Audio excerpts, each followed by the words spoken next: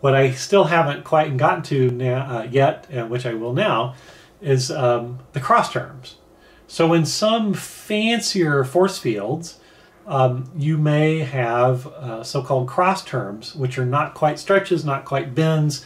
It's an interaction between stretches and bends, or between different pairs of terms.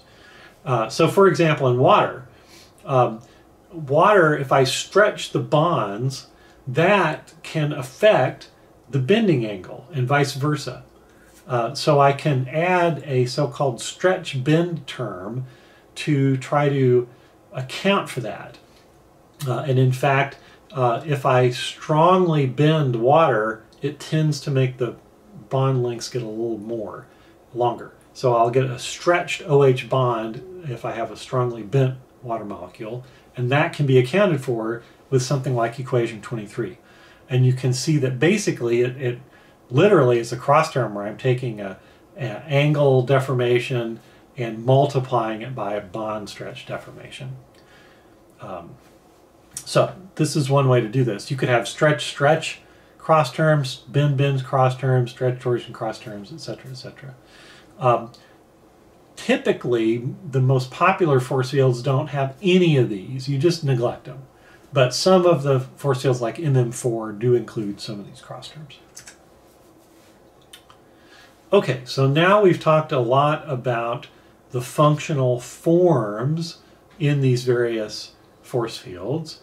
And I'd now like to turn our attention to how do I get the parameters that go into these? Because I need a lot of parameters like bond stretch force constants K2 and uh, uh, bending angle uh, force constants. And uh, if I'm doing higher terms in the Taylor series, I need those.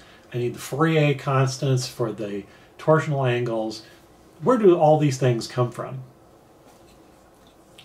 Um, but let's think first off about how many of these there are. So suppose I only had 30 different atom types, and we know there are actually much more, but suppose there were 30 atom types. Um, well, if I had um, um, all the, uh, just bond terms, then I would need each atom times each other atom, and I'd have 30 squared divided by 2 uh, stretching constants, uh, which is kind of a lot, but you know maybe under control.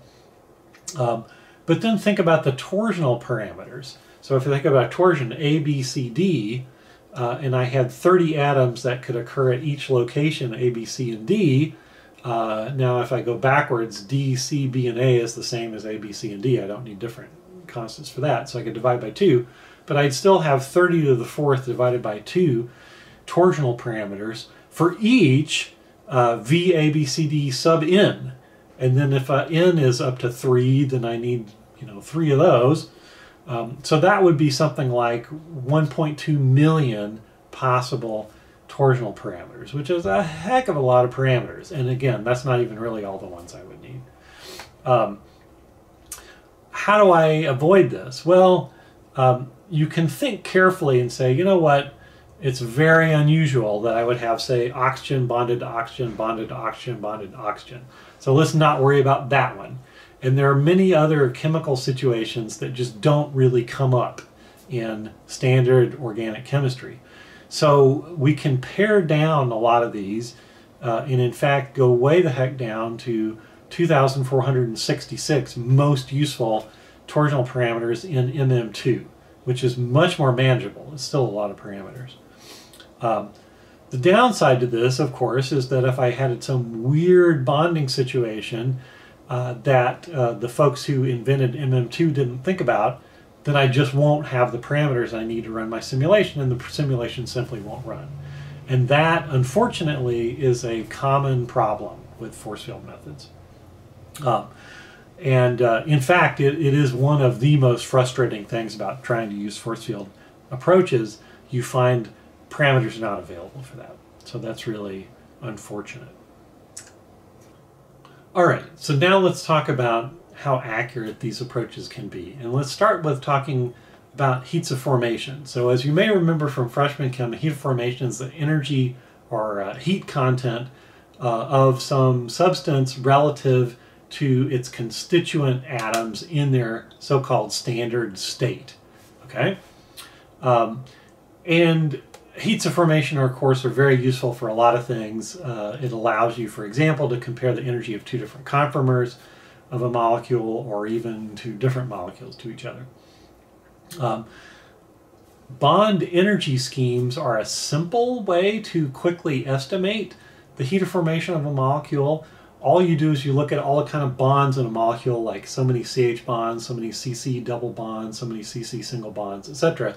You look up a table, you find CH, CC double bond, CC single bond, and each of those has a tabulated typical heat of formation, and you add those up, and then that gives you an estimate. The problem is that only works if the system doesn't exhibit any strain, because the bond energies don't know anything about a strain. Um, it would work a lot better if you had some way to correct this bond energy scheme with an estimate of the additional enthalpy due to the strain of the molecule. And that's exactly what you can get with molecular mechanics. It tells you what the energy of a molecule is as a function of its conformation, and so that will tell you how strained it is or not. Um, so um, in molecular mechanics, we compute the uh, strain energy and then add it to these bond increments to get an estimate of delta HF. Uh, the bare molecular mechanics energy that you compute with these programs is actually not so useful um, for comparing two different molecules because there's no common frame of reference. Delta H has a common frame of reference, which is all the elements in their standard state. So that gives you, you know, a reference value. But um, in molecular mechanics, the strain of this molecule versus the strain of that molecule just tells you which molecule has more strain, but it doesn't say anything about the the true energy difference between those because you don't know anything about the energy of the individual um, bonds in terms of their heats of formation from the standard state. So you're missing, a, uh, you have a missing link if you're trying to compare a molecular mechanics of molecule A versus molecular mechanics energy of molecule B. They're just not comparable quantities. All you could say is which one's more strained than the other. But if you add these bond energy increments for the enthalpy, then you can get delta HF estimates and then you can compare those two things to each other. So let's ask how accurate these heats of formation are. Now you should add some various small corrections to these. There are so-called population increments to correct for the fact that you might have low-lying conformers which have uh, fractional occupation uh, of those uh, a lot of times those are just ignored. Um, torsional increments, if I have a torsional potential with a really shallow potential, I should make a thermodynamic correction for that. Sometimes those are ignored. Uh, corrections for low barriers besides methyl rotations. Usually methyl rotations are already included in the bond uh, increment or group increment scheme. It knows you've got a methyl group and it knows it rotates, so there's already some correction for the fact that it can freely rotate. But if there are other rotations that are low in energy, those are not necessarily included. So those are uh, small corrections that probably could be included and often aren't. Um, but with those as caveats, let's look at the performance of MM2 for some typical molecules and see how accurate delta HF is. And uh, we see that for hydrocarbons, the average error in delta HF is only 0.42 kilocalories per mole over this particular test set, which is really great. The, for a, a, a heat of formation, which might be 100 kcal, 200 kcal, this kind of error is a very, very tiny error. Uh, and that has to do with the fact that molecular mechanics methods were parameterized for um, small molecule hydrocarbons that are similar to the ones that are tested here. Um, other functional groups have slightly bigger errors. You notice aromatic amines, for example, have much bigger errors. So your error will be smaller or bigger depending on how normal or routine the molecule is or how similar it is to the molecules that were studied when the parameters were developed. And the more exotic the molecule, the less likely it factored into uh, the parameters that were developed, and the more likely the errors will be higher. But you can see that you can, in auspicious circumstances or normal circumstances where boring molecules are playing a role, get um, sub kilocalorie per mole um, accuracy in heats of formation, which is really, really, really good. Let me uh, uh, make a couple categories of molecular mechanics methods. These are the ones uh, Jensen makes in his textbook. Uh, class 1 methods are going to be ones where you have some of those higher order terms like cubic and quartic terms in the force field and sometimes some cross terms. So things like um, MM4 or EFF or CFF, those are these uh, higher accuracy force fields. Um, class 2 would be ones that don't include those order terms. Um, so they're going to be more popular and more appropriate for larger molecules like proteins. Uh, and those would be things like uh, AMBER and CHARMM and uh, so on. Let me wrap up this discussion of force fields to mention sometimes force fields are combined with quantum mechanics uh, in what you might call hybrids of force field methods and electronic structure methods and these most often go under the label of QMMM, quantum mechanics slash molecular mechanics hybrids. Um, there, the idea is you take an interesting part of the molecule. Maybe there's some um, interesting chemistry happening at uh, some metal center inside a protein. That you might treat with quantum mechanics because it's hard to treat metals or reactions with uh, force fields sometimes. But then the rest of the protein is just kind of hanging out not doing a lot, and their force fields might be perfectly adequate.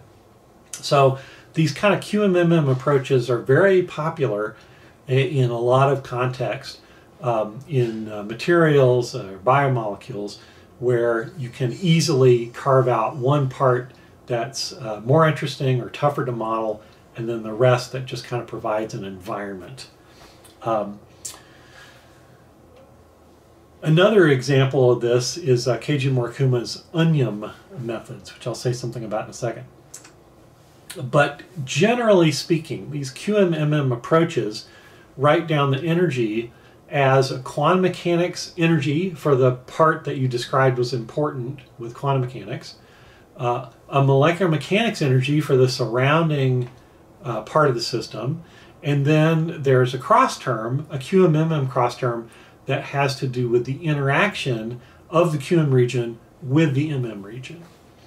And there are various ways to handle that QM-MM interaction energy. The first one, the simplest one, is so-called mechanical embedding. When you do that, you include the bonded and the steric interactions between the QM-MM regions, and uh, maybe even assign partial charges to the QM atoms um, but that's pretty much it, okay? Um, if you do electronic embedding, this is a more sophisticated approach. You also add partial charges on the MM atoms when you do the QM computation. So you've got a quantum mechanics region, you do a QM calculation, but that QM calculation sees point charges around it due to the MM atoms, and that uh, polarizes the distribution of electrons inside that QM region. Polarizable embedding is the next level up in the accuracy ladder. That's one where you allow the QM atoms to polarize the MM region. Now you can only do this if you're using a polarizable force field. So CHARMM and AMBER, forget about it unless they're polarizable versions of those. But if you have a polarizable force field, then the MM region sees the QM electron distribution and then its electrons, or, or at least its models of the electron distribution through the polarization term, uh, responds to that. Um, that's kind of the different categories of how to handle this QM-MM interaction. Um, if the QM-MM boundary cuts through some covalent bonds, then um, you have a lot of technical details of how to handle this, but commonly use what's called our link atoms, which basically often they're just hydrogen atoms that cap off the uh, rest of the part of the system that you deleted. So if I'm doing the QM calculation and I'm cutting through a carbon-carbon bond between my QM region and my MM region, a lot of times um, that molecular mechanics carbon I'll replace with a hydrogen when I'm doing the QM calculation, for example. And there's a lot of papers on fine details of exactly how to handle this. Uh, finally, let me mention Keiji Morokuma's ONIOM approach. Sounds like onion, but not quite, ends with an M. Uh, this uh, stands for our own N-layered integrated molecular orbital molecular mechanics method. It's a, it's a similar approach in spirit. The details are different. What you do basically is you're trying to guess what would happen if I had the real system and I modeled it at a high level, like quantum mechanics. I can't afford to actually do that calculation. So what do I do instead? I do a low level calculation on the entire system. So that's the energy of the low level for the real system. Then I do a high level calculation on the model system. So maybe I do some decent quantum mechanics treatment on some model system that's smaller, um, and I've done a low level calculation on the whole thing. Now I've double counted because that most interesting region, I did a high level calculation on it, and I also included that when I did the low level calculation on the entire thing. And I don't want to double count. So I need to subtract the low level calculation on the model system to, so that then each part is only computed once. And by cutting things off and capping and doing some fine details I'm glossing over, it's essentially just three calculations, as you can see, and I add and subtract, and I get an estimate of what would have happened if I could have done the high level calculation on the real system. It's a nice way to not neglect the effect of the environment, which is so often done in a purely quantum mechanical approach. Um, and you can jazz this up. You can have multiple layers and all kinds of things. Uh, originally, this approach just used mechanical embedding for the QM interface, but uh, it was generalized to allow electronic embedding as well, which is an improvement for sure.